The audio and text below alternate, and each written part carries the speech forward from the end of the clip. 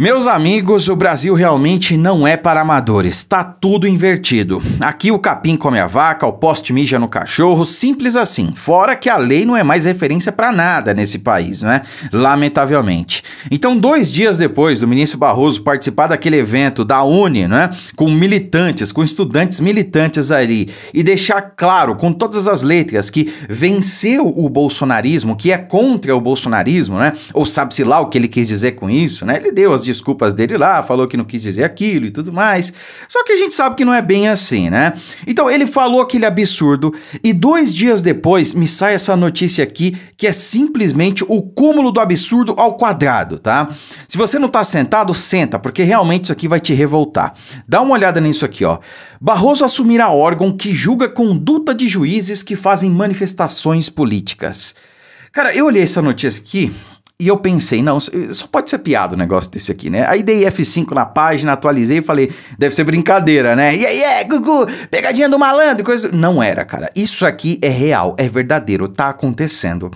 Dois dias depois do ministro Barroso ter participado de um evento com militantes, com estudantes, coisa que é vedada para qualquer juiz, para qualquer figura pública, me vem essa notícia aqui. O cara vai assumir um órgão né, que julga a conduta de juízes que fazem manifestações políticas, dois dias depois dele ter feito uma manifestação política contra um lado do espectro político ideológico, contra a direita, obviamente, né? Todo mundo sabe que no Bolsonaro que ele não votou, né? O ministro Luiz Roberto Barroso do Supremo Tribunal Federal vai assumir a presidência da Corte e também do Conselho Nacional de Justiça a partir de outubro, né? que o Conselho Nacional de Justiça, para quem não sabe, é o órgão responsável ali por punir, dentre outras coisas, claro, né? Por punir magistrados que cometem alguma falta, né? Por exemplo, recentemente a juíza Ludmila Lins Grilo, ela foi afastada, né? Não sei se ela foi aposentada ou se foi só afastada, mas ela sofreu uma punição pelo CNJ devido a uma postagem que ela fez é, um tempo atrás, né? E nem foi uma postagem assim político, partidária, não. Ela estava defendendo ali a liberdade de expressão, dentre outras coisas, né? Que é algo que de, nem de longe, né? Não chega perto do que fez o ministro Barroso ou do que fez o ministro Edson Fachin também meses atrás, participando de um evento do grupo criminoso MST, né? Sim, é criminoso, porque invadir propriedade privada no Brasil ainda é crime, né? E ele estava ali participando de um evento do MST. Quer, dizer, você vê uh, figuras da mais alta corte do país se manifestando politicamente e deixando claro de que lado eles estão, do lado político e ideológico estão, né? E aí não acontece nada com eles. Aí você vê uma juíza federal que apenas se posicionou de maneira uh, favorável à liberdade de expressão, né? Que quem é que defende a liberdade de expressão? É a direita, não é a esquerda. A esquerda defende a liberdade deles, né? Olha, a gente pode fazer, falar o que a gente quiser. A direita não, né? Isso é liberdade para eles, né? Então essa juíza se manifestou nesse sentido, que todo mundo pudesse falar a mesma coisa. Isso é liberdade de expressão para todo mundo, não pode ser só para um grupinho, né? E aí essa juíza foi afastada, foi punida.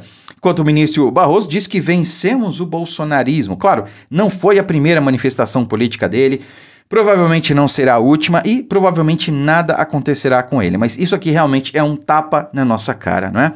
Só para concluir, em 2019 a entidade endureceu a pena para magistrados que fazem manifestações políticas a partir de uma resolução aprovada no ano posterior ao pleito de 2018 que consagrou Bolsonaro como presidente da República. E a chegada de Barroso, no entanto, é repleta de críticas. O magistrado assume a presidência do CNJ em um momento conturbado após suas declarações no 59º Congresso da União Nacional dos Estudantes, dizendo que nós derrubamos o bolsonarismo. Ele, no entanto, negou que tenha se dirigido a declaração aos simpatizantes do ex-mandatário, alegando que não prometeu ofender, que não pretendeu, perdão, ofender os 58 milhões de eleitores e nem criticar uma visão de mundo conservadora e democrática. Não, imagina, claro que não, né? Aliás, tem um aspecto extremamente importante sobre o, o que está caindo sobre o Barroso nesse momento que a gente precisa esclarecer aqui, tá, pessoal? Vou fazer um vídeo só sobre isso e provavelmente eu faço amanhã, tá? Mas de qualquer maneira, o ministro Barroso, é, a fala dele foi tão grave, mas tão grave, que até ele veio a público e meio que se desculpou. Quer dizer, não foi uma desculpa, não foi uma retratação mas foi um posicionamento. É extremamente raro um ministro do STF vir a público e, digamos, justificar alguma fala, algum ato seu. é extremamente raro, meus amigos. Não dá para negar. Então, realmente, ele sentiu a pressão e percebeu o perigo que foi esse posicionamento dele neste momento, tá? Neste momento da atual, do atual cenário político nacional. Vocês vão entender do que eu tô falando no próximo vídeo, tá certo? E para finalizar, uma outra notícia aqui essa é para dar risada, né? Porque o Lula, cara, o Lula e o seu sincericídio, né? O cara sai por aí falando que no Brasil tem não sei quantas milhões de crianças de rua passando fome e tudo mais, né? Claro que ele precisa mentir, tá acostumado a mentir. Ele já falou isso no passado, né? É, no Brasil, eu andava pela Europa, companheiro, falando que no Brasil tem dezenas de milhões de crianças passando fome e no meio da rua. ele dizia abertamente isso aí, dizia que era bonito mentir porque as pessoas aplaudiam ele copiosamente, calorosamente, né? Então ele ia jogando número, ia jogando número, né? E não interessa se era verdadeiro ou não, até porque os gringos não iam ter como confirmar aquela informação. Bom, era isso que o Lula falava, né? Para você que acha que isso é fake news. Bom, agora ele cometeu mais uma fake news, né? Essa realmente beira o absurdo, né? Acompanhem só. Casa nesses próximos três anos e nós já começamos a reconstruir 186 milhões de casas que nós encontramos paralisadas. 186 milhões de casas. O cara começou a reconstruir, né?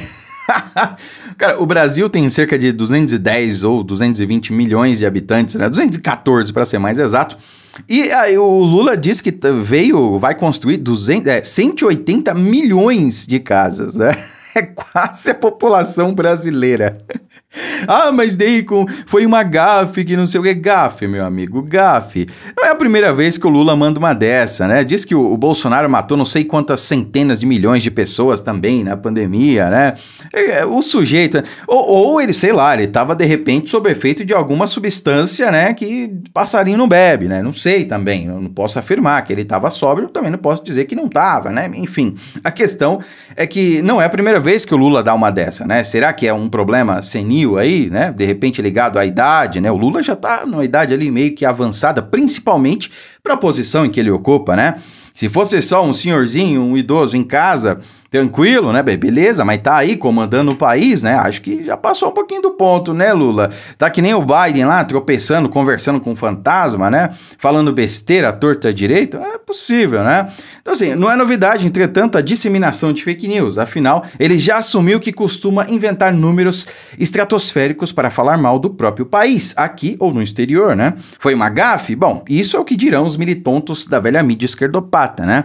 É, de pensar que ainda tem gente que acredita nas mentiras desse sujeito. Né? É, essa é a verdade, porque primeiro ele disse que nós voltamos a construir 186 milhões de casas que estavam paradas. Não, não, não primeiro, né, não são 180 e poucas milhões de casas, né?